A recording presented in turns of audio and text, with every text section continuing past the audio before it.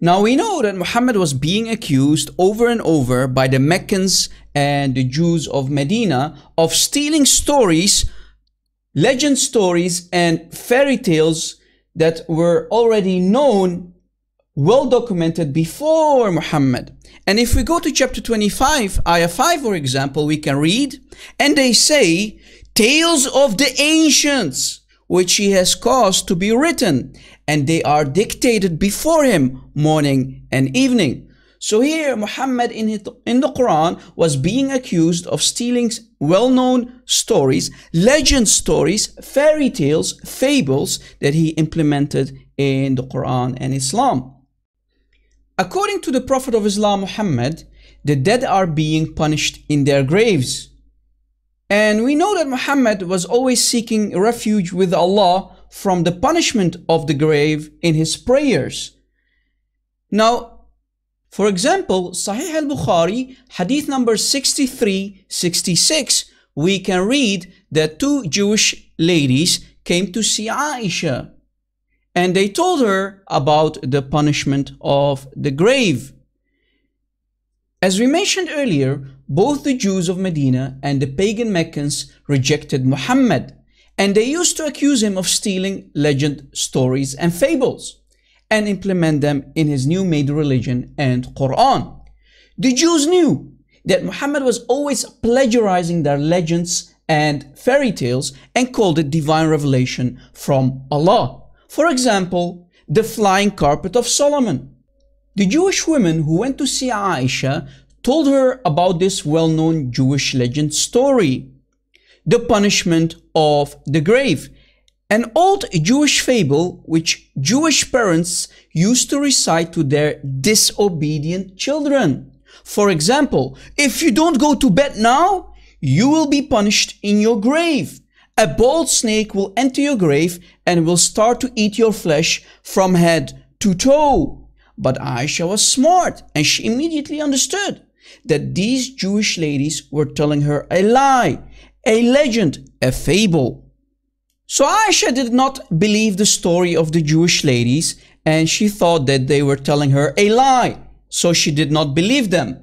When they went away, the Prophet of Islam entered upon Aisha and she told him the whole story. And Muhammad, the Prophet of Islam, replied and said, They told the truth. The dead are really punished to the extent that all the animals hear their punishment. Since then, Aisha said, I always saw Muhammad seeking refuge with Allah from the punishment of the grave in his prayers. Now I found an Indonesian ustaz, an imam who is going to explain to us the punishment of the grave. He will tell us all the fine details of this story, which every Muslim on this planet have to believe in. Muslims are terrified and they all seek refuge with Allah from the punishment of the grave.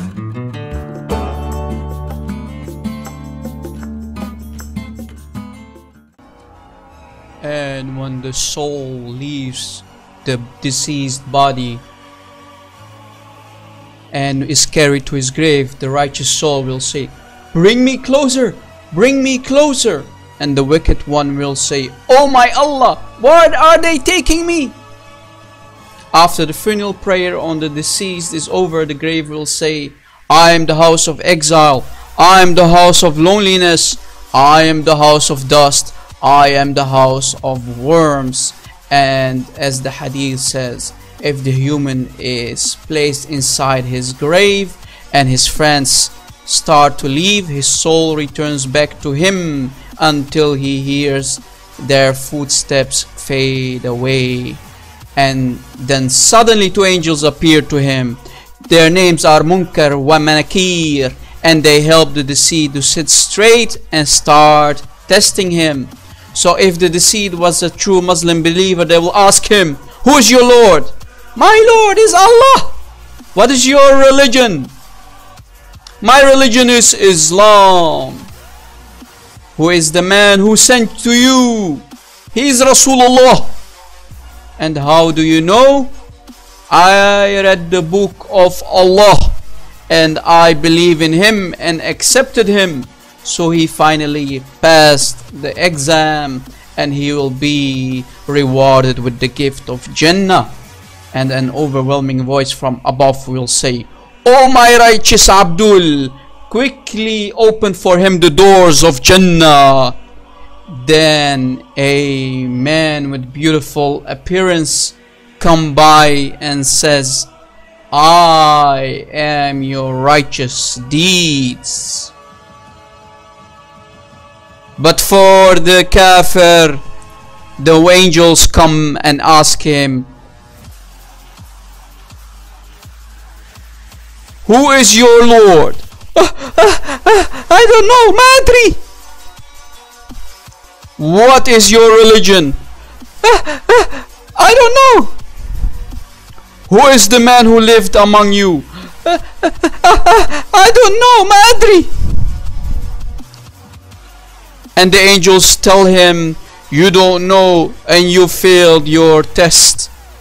And the poor man failed his exam and test, and the punishment of the grave starts. And a voice from heaven says, He lied, bring down fire upon him. And the angel starts to hammer him down with a big sledgehammer. Such amazing big hammer that if you throw it down it can break a mountain into small pieces of rocks and dust. And the kafir screams and cries from the pain and suffering so loud that all creation can hear him except mankind and jinn. And he is struck down until he turns to dust. And Allah turns him back to normal and the angels strike him down with a final blow. And his grave starts to close around him until he limbs crushed and earth is commanded to swallow him and it swallows him completely and a snake crawl in his grave and a bold snake called Tha'ban al-Aqra and the snake starts to eat his flesh from head to toe and a man appears from out of nowhere with an ugly face, filthy clothes, and a bad smell. And he says, I'm your wicked deeds. And then his place in fire is shown to him.